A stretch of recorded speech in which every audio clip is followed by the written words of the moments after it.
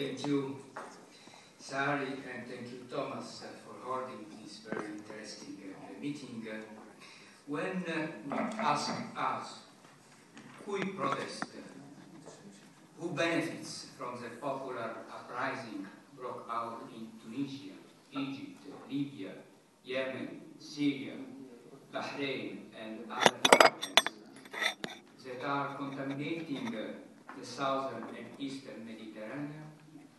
The answer is clear.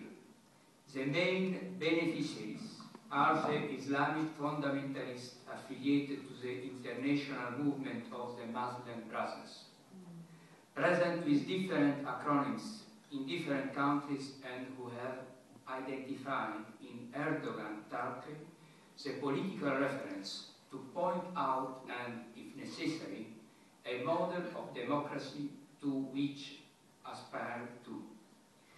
Everywhere the Muslim Brothers have been fully legitimized and set themselves up as guarantees of stability and security of the state. Sharing power with the military, they shoot to oust the popular uprising as, as managers of economic decay and immorality of the institution. What happened did not happen by accident. If millions of people unite, occupy the street and demonstrate against the regime, is because there is a leader, a puppeteer, or a movement that inspires them and maneuvers them.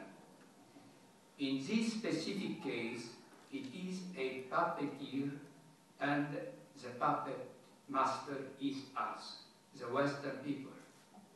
Obama, Sarkozy and Cameron have promoted a strategy for the Muslim Brothers coming to power in order to have in return the repression of Islamic jihadist terrorism of which Al-Qaeda by Bin Laden is the chief representative. Money are behind the suicide decision of the West. United States are the first most indebted country in the world, with a public debt equivalent to 500,476 billion dollars, equivalent to about 100% of gross domestic product. A main influence of the growth of public debt is a military cost that from 2001 to 2011 was of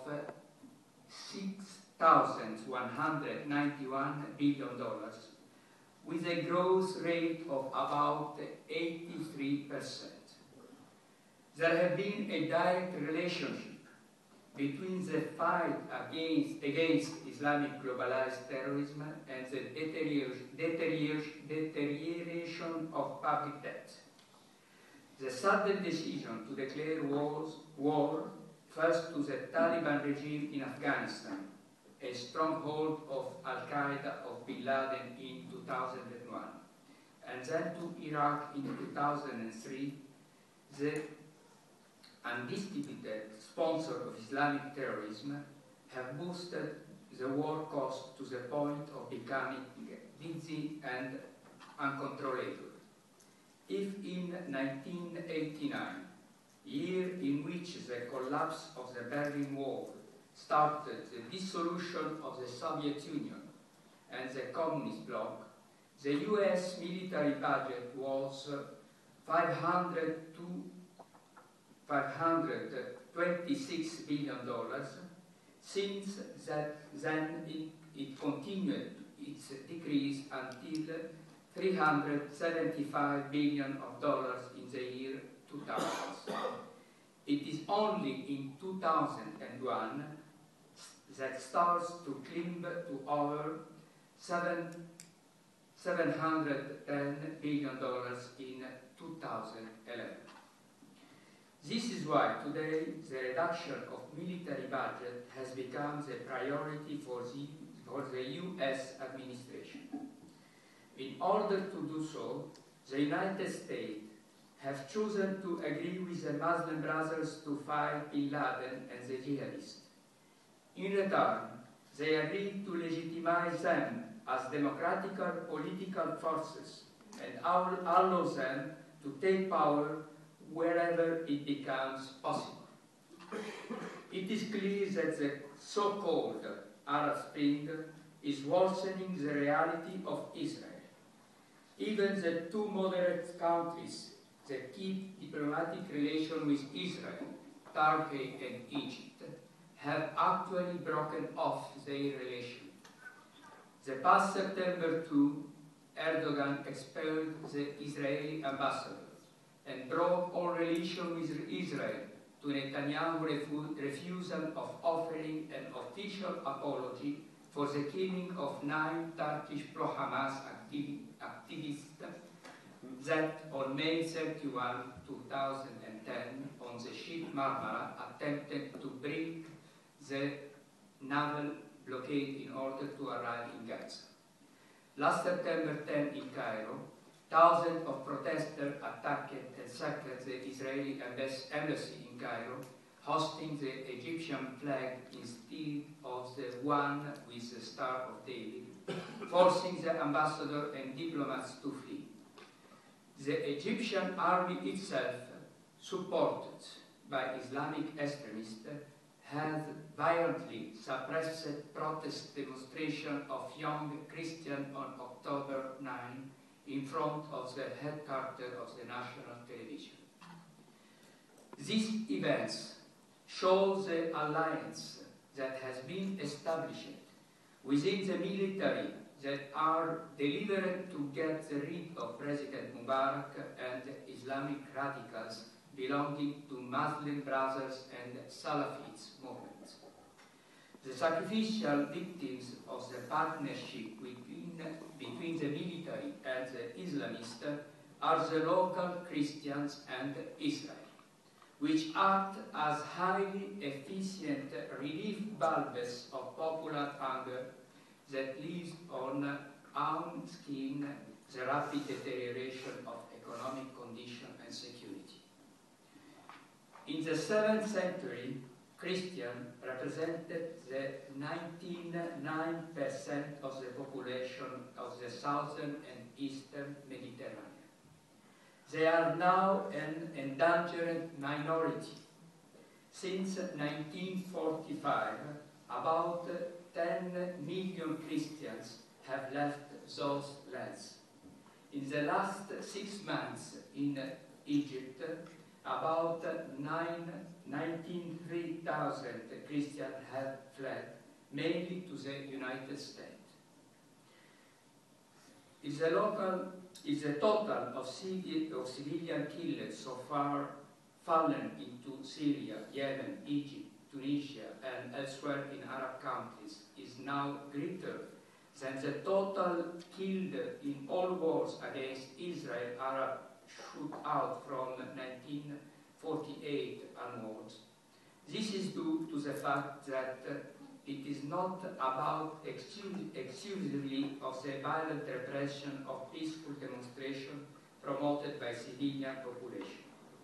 The trust is that this bloodbath has been preordinated and designed by the Muslim brothers who discredited the military regime in power in order to force the United States and the European Union in particular to isolate them and encourage the fall of the, uh, the regime in power. I would add, horrified, that the Muslim brothers are encouraging this massacre with the blessing of the West. In conclusion, was not at all an uprising for democracy and freedom, as the mass media communication and some ideological, politically, naively, and demagogically wanted to make us believe, but rather a real deception of the so-called Arab Spring. the fundamental mistake that we have committed in the West is to imagine next automatically and uncritically in our Im image and similarity.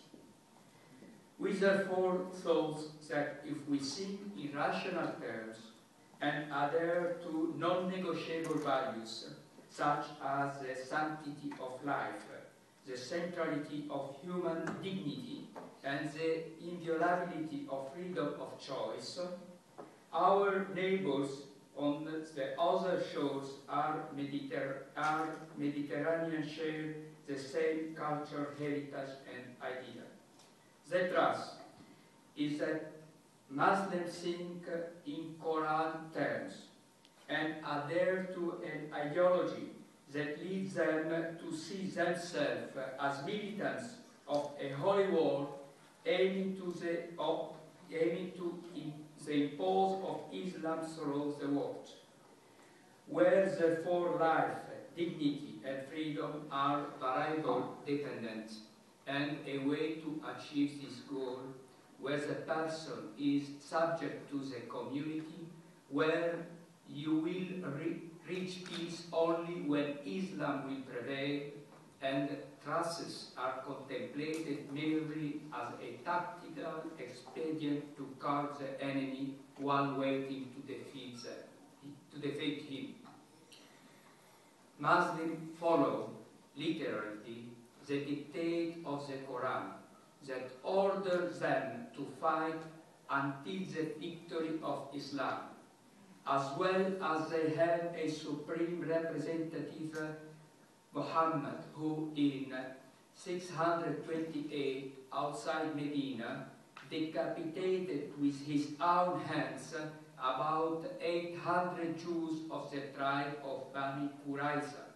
And in the same year, signed in Hudaybiyah, the Hudna, a truce with, with the Meccan enemies when he was in a position of inferiority violating it in January of 630, once consolidated his Zayed forces with the occupation of Mecca.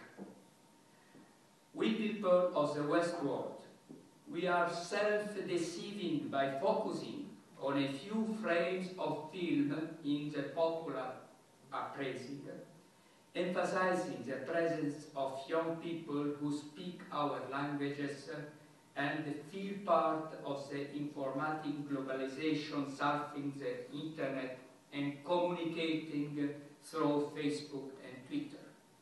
It's clear that these young people are there and we must help them, but in the knowledge that they represent a minority.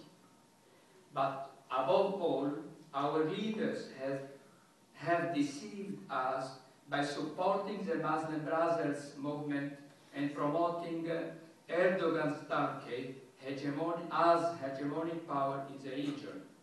Also is a reality essentially hostile to our non-negotiable values that despise our secular and liberal civilization with Jewish, Christian roots which uses democracy as a tool to impose Islamic dictatorship. Well, it is time to recover the use of reason and to face the reality of the facts, to rediscover the love of ourselves and to take measures for the common good in order to preserve our humanity and to prevent the suicide of our civilization. Thank you for your attention, and, and I apologize for my poor English. No. And I wish you, all you, to become protagonists of trust and freedom, witness of faith and reason, and builders of a civilization of non-negotiable values and the certainty of views. Thank you.